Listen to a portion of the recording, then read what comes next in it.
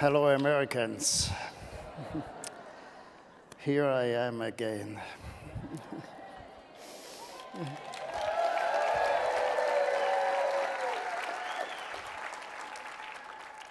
we make a translation, you know, German to English. Uns beschäftigt mit Yesterday, uh, we talked a little bit about the advertising claim of a BEMER competitor. Eine kurze persönliche Let Feststellung an den me make a personal statement right up front. We uh, always refer to a very high good of democracy, freedom of opinion. So people have the right to speak their opinion, even if his or her opinion is not competent. das Recht auf Meinungs So we have the freedom of opinion. This is a very, very high good, a very important right. But what's often forgotten is that it is related and connected with the duty to act reasonably and to act fairly and properly. And that's the problem. We saw it yesterday.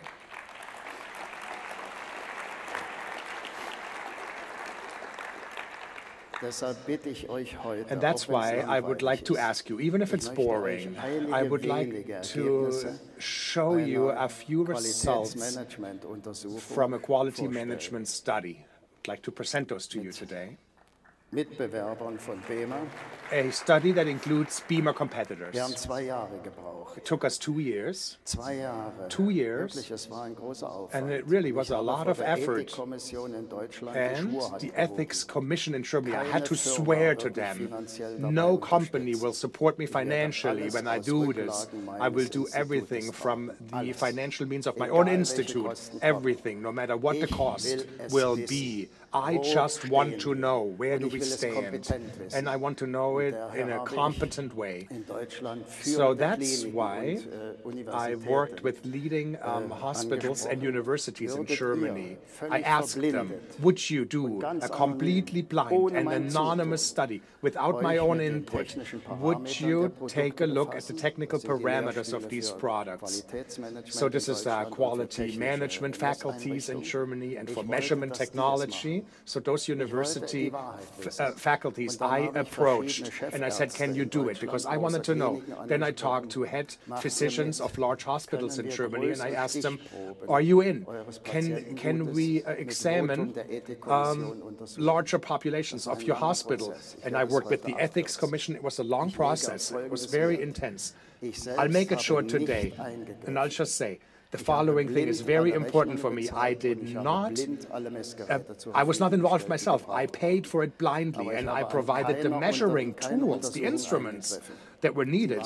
But I did not have any input in these Dafür hebe ich meine analyses, in these studies. This was all my colleagues, and I swear this to you. I hold my hand up and I swear. I just wanted to know where do we stand. So I didn't have any personal input schon mal eine in the actual examination. About 15 years ago. I published the results of a study of a competitor. And back then, the differences were large in these clinical wissen, wie ist studies. And so now I wanted to know what's the situation today. So here's the vi- uh, here, here's the video. So Stelle. roll fallen mir dann and please be patient. Witze mehr ein, I don't have any jokes here to Also es ist entertain you with. Even I am out of jokes. It's very dry.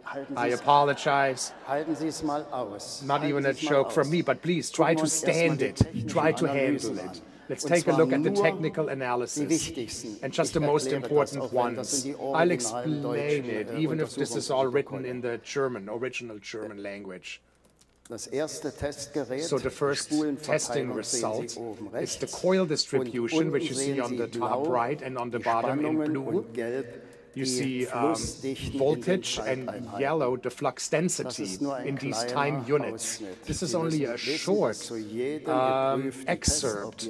And what you have to know is that every tested object von Akten vorliegen. has produced a whole pile of paperwork. In jeder Raumrichtung und mit We really try to do this in every direction and with every resolution to look at these signals. So this is tested device number one. Trichter. And this uh, remained from a kind of funnel. Only four devices were left over at the end that were even worth examining further.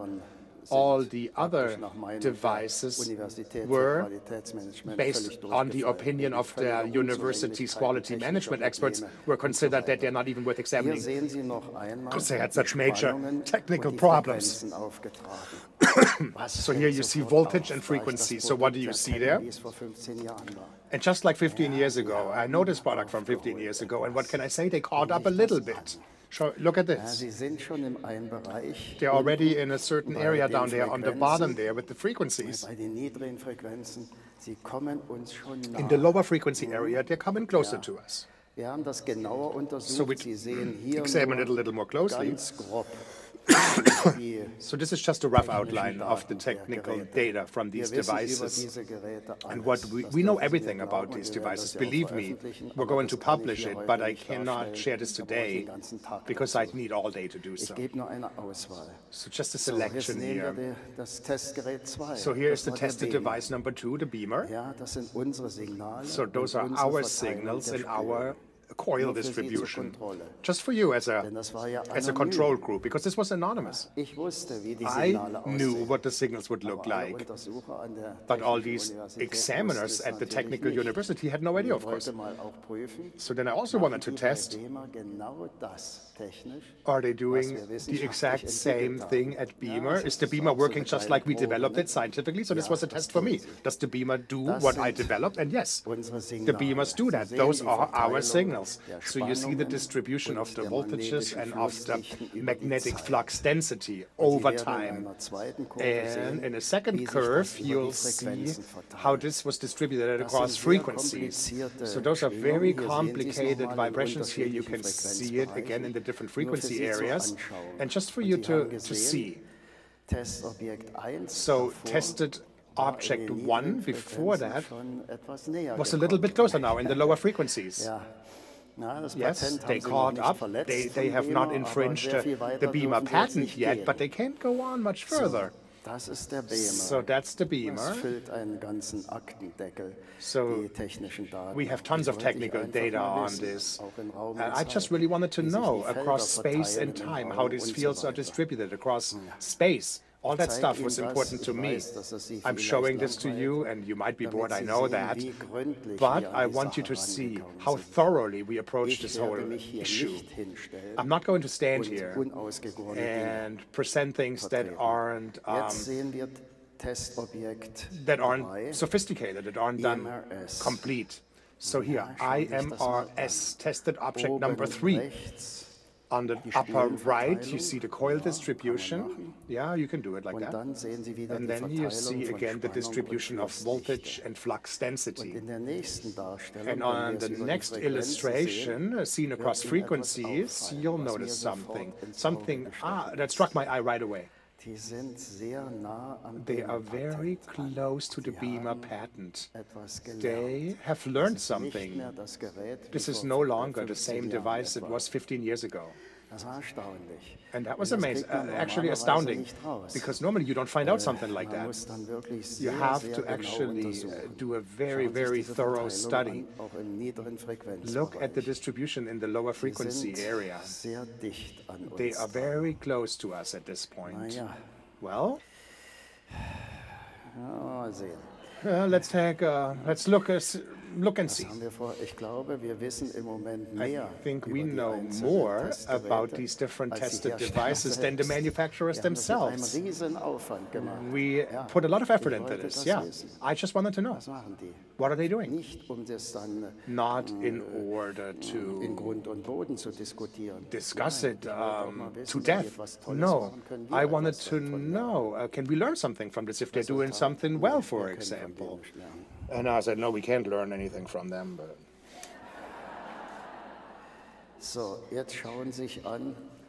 So now, das vierte take a look at the fourth tested device. Sehr ungewöhnlich. This, the coils are arranged in a very unusual way. I mean, you can do it that way, but what strikes the eye right away, there's different periodicities. Frequenzverteilung.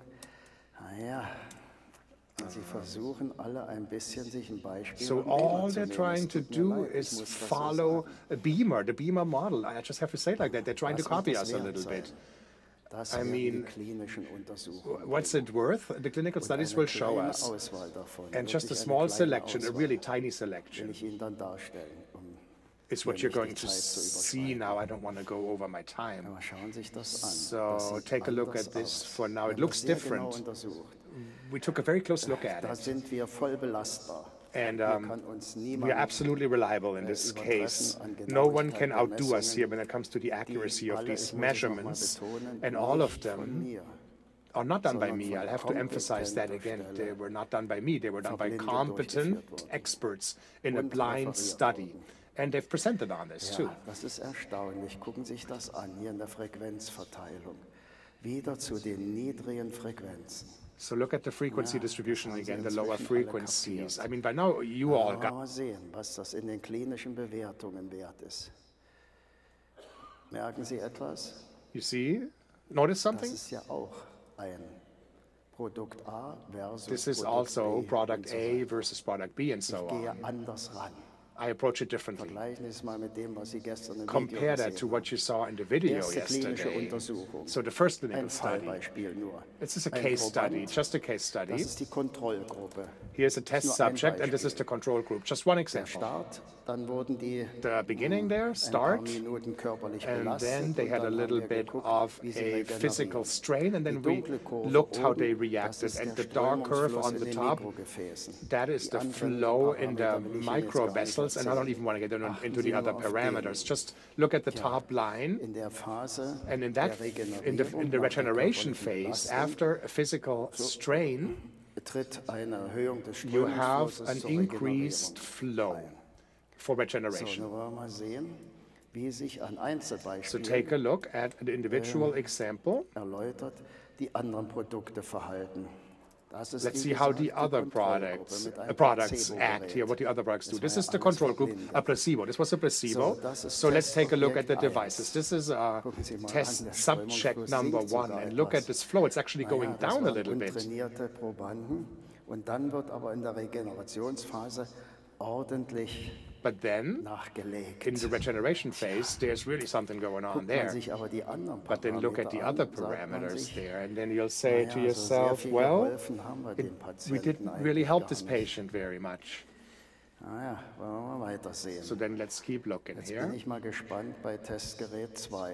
I look Diese forward Beispiele to sind test natürlich device number ausgewählt, two. Aber sie sind repräsentativ. Of course, these are selected examples, but they are representative. kompletten Daten einer Afterwards, I'll give you the complete, show you the complete data from an uh, from a, a Ja, study. das ist Testgerät 2. So this is the test uh, device number two. Was fällt auf? What do you notice? In the strain phase, the stimulation is already active, setzt danach noch einmal and then the regeneration is boosting that even further. So in other words, Die leichte körperliche Belastung, die wir ihnen zugemutet haben, we gave a physical strain here, but we helped größere Leistung zu to uh, overcome that and to zwei. Gucken wir uns die anderen perform better. Haben Sie noch ein So this is the tested device number two. Be Ich will Ihnen patient. ein Gefühl dafür I want to give you an idea of how accurately we are doing this. Publizieren das ja bald. And we're going to publish it soon. Das sind. So those are Ich habe die hier huge mountains of data, which I'm really summarizing very briefly, but you must trust me that I'm not pretending or faking it here for you. So this is Sie mal an. number four, test device number four.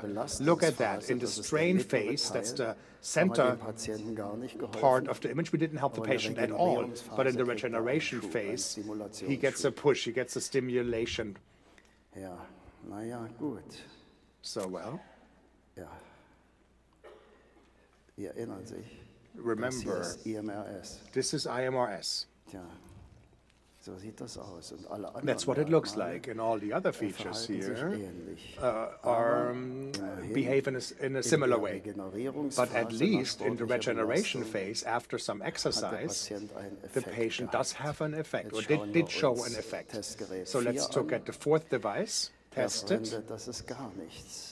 And this one is nothing. You might as well not have used it at all. In der Summe einer klinischen Studie So the outcome in the totality of a clinical study, you show very small, you're seeing very changes. And these are just case studies, small examples. I just wanted to show you how did we proceed? What was our method? We used the best testing überhaupt möglich ist. um, instruments that are available worldwide. We did not want anybody to be able to attack us. Zwei ausgewählte Merkmale einer kompletten klinischen Studie ambulanter und So here's a complete clinical study of inpatient and outpatient, uh, inpatient, outpatient patients over 30 days for all four schauen Sie sich tested devices. So take a look at that. schlägt die Bombe ein. And this is where the bomb hits. Das ist die venolenseitige Sauerstoffausstattung.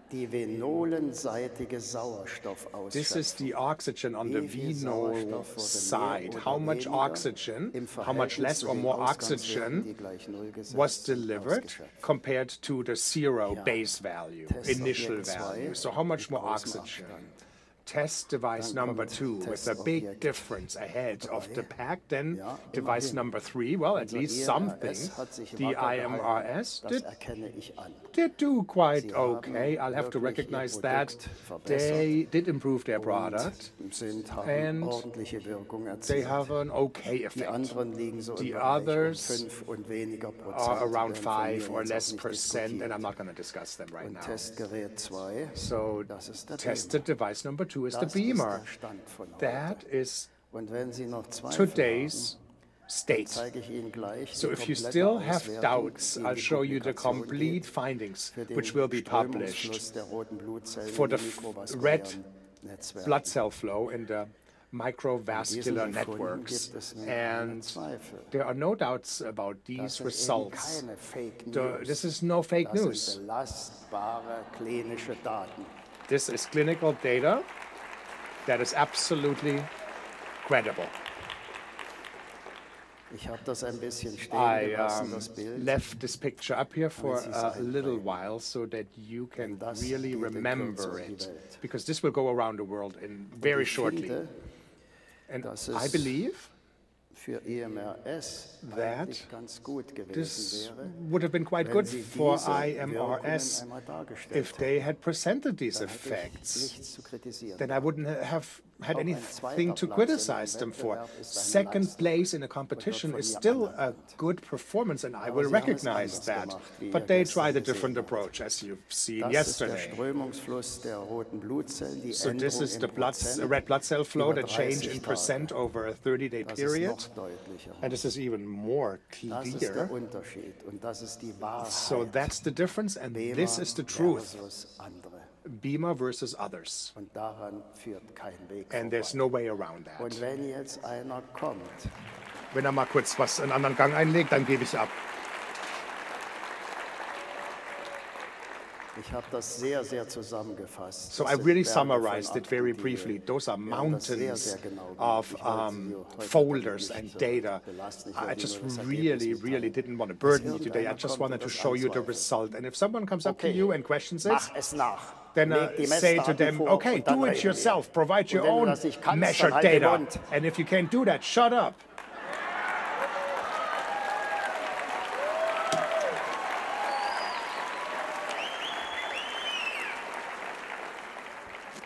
Freunde, dennoch erweise ich Friends, in spite of that, I would like to say that I wenn ich vieles respect our competitor. I recognize Vergleich zu den that in die wir vor comparison to the measuring data that we've done 15 years ago, you have done a good job and improved your product.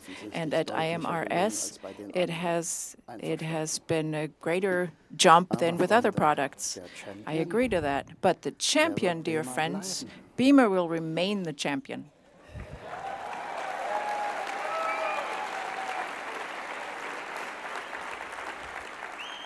Versprechen geben. And now I will promise something to you. ich höre You know, von anderen I hear from other competitors wollen den BEMER einholen. that they want to catch up with BEMER. You, Aus ganzem Herzen. you can do that. wünsche euch Erfolg. I wish you the best from all of my heart. But sollte das wirklich eintreten, if that should be the case Patente des BEMER without you infringing on the patents that BEMER has, ihr das machen hmm, I don't know how you're going to do that. You'd have to research, you have to really do the, euch in die and the extensive re- uh, research. das so ist, das But if that is the case, I Wir werden uns promise you, we will meet schon weit weg. we, you will not catch up with us because we've been er And I've been working on making our competitive edge larger. We will continue to work on this BEMER. Freunde, das ist der Teil, den ich Friends, that's the part that I have given you in summary. It was a bit boring, I know. Ja, ja, äh, ah ja, äh, äh,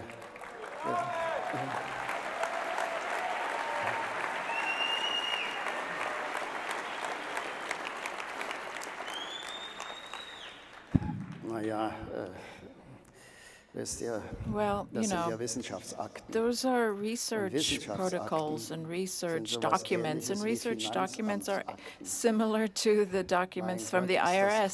trostlos, da drin It's, blättern. it's just a pain to look through those. ist das, was man auf sich nehmen But that's what you have to do.